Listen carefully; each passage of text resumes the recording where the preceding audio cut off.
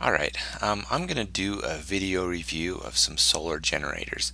But before I begin, I want to let you know uh, kind of what I'm looking for in a solar generator.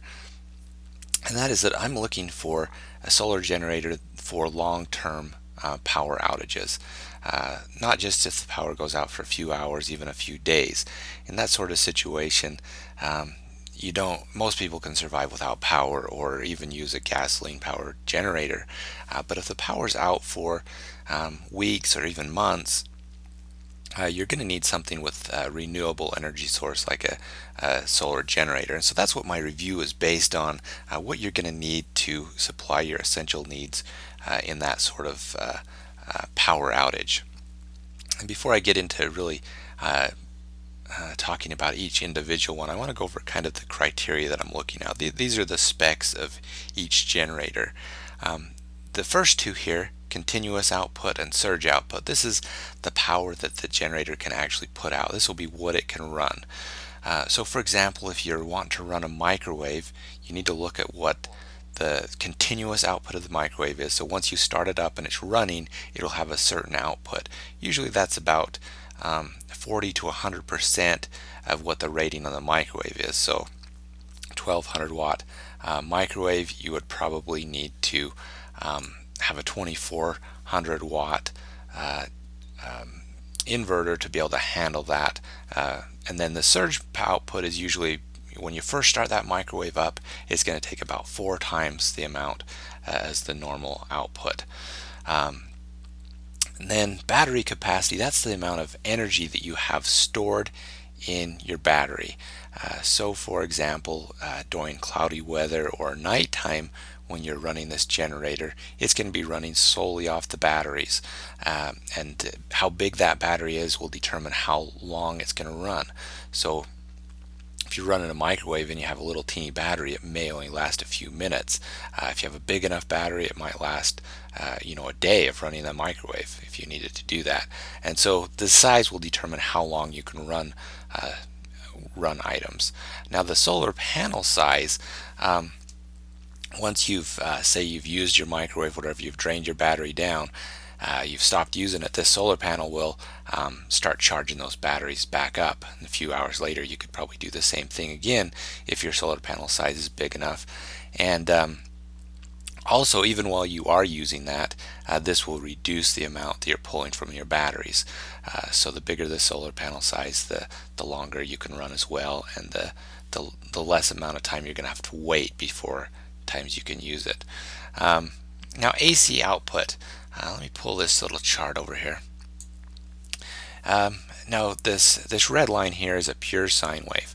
This is what uh, our grid puts out. That's what all of our appliances are designed to run off of. And with that, you don't have any problems.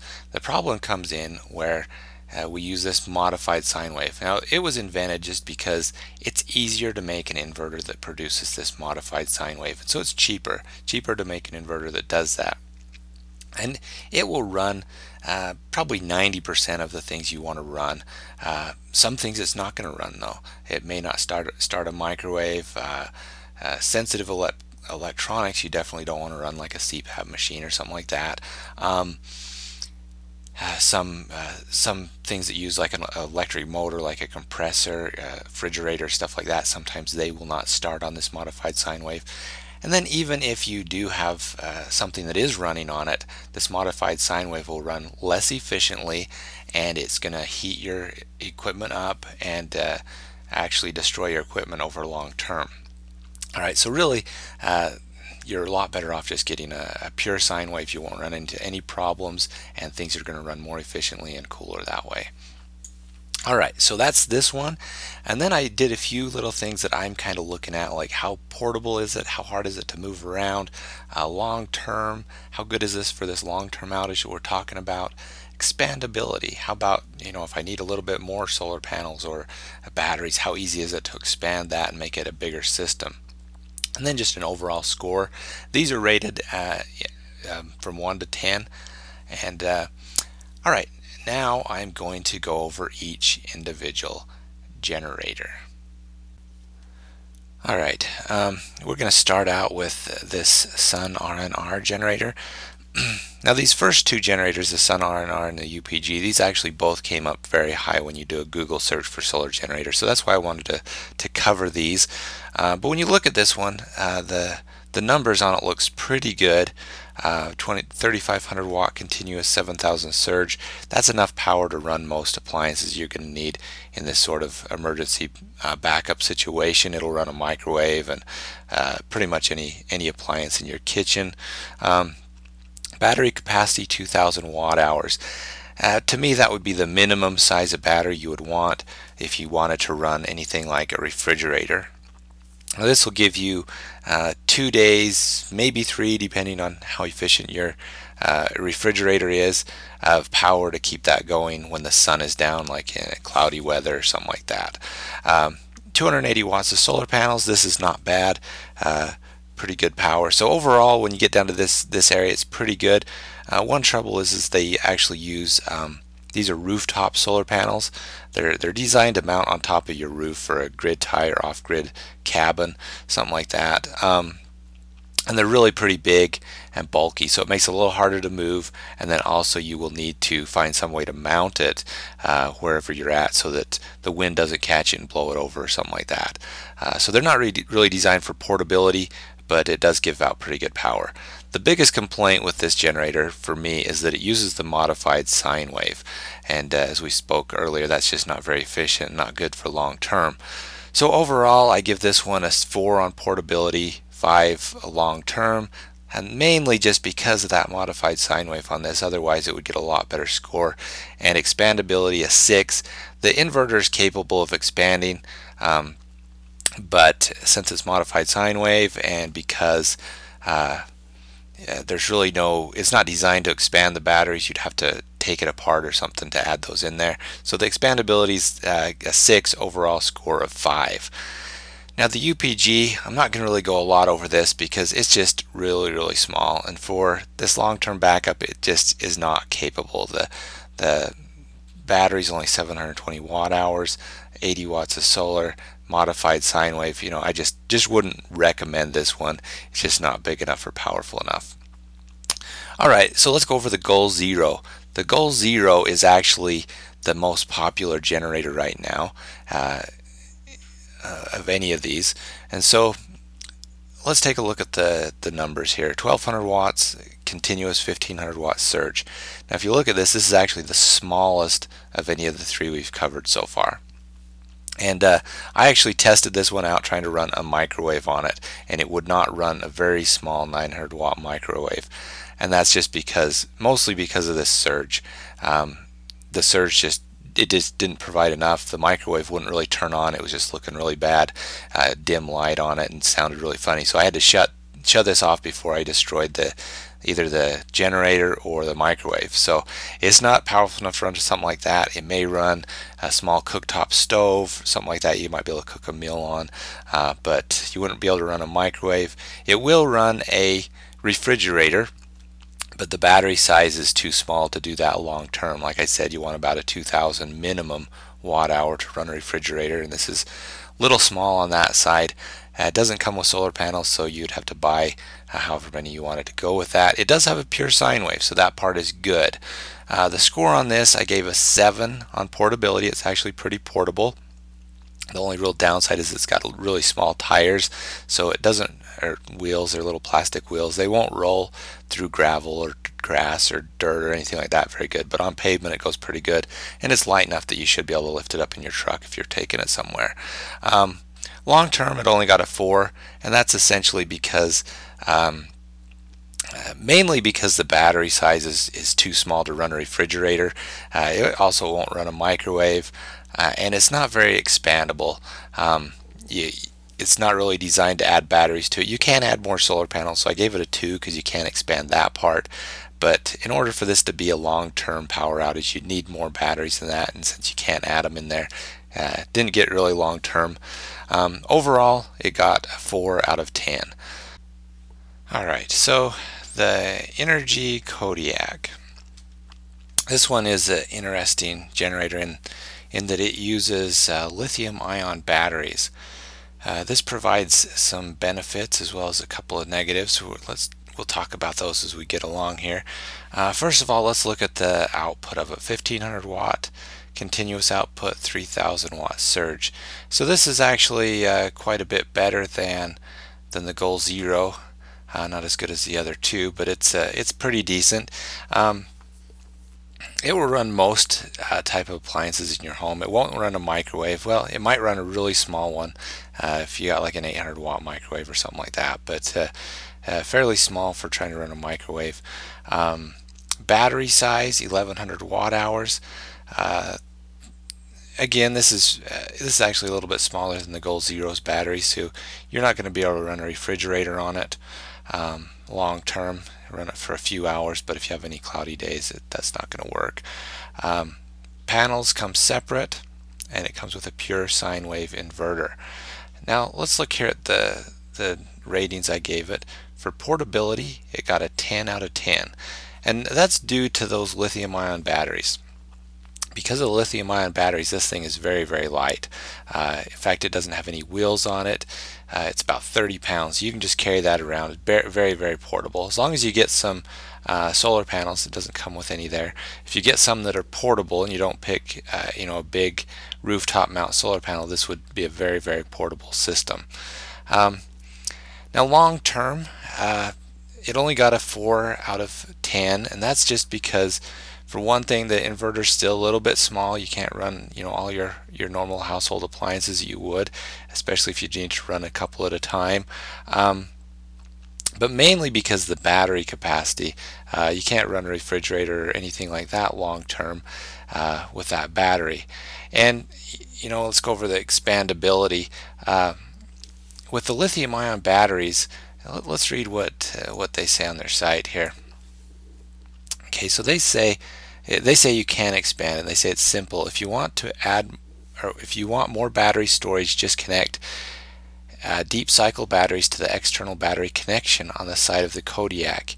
Any connected batteries will charge and discharge at the same rate as the internal battery thus acting as one fully integrated system.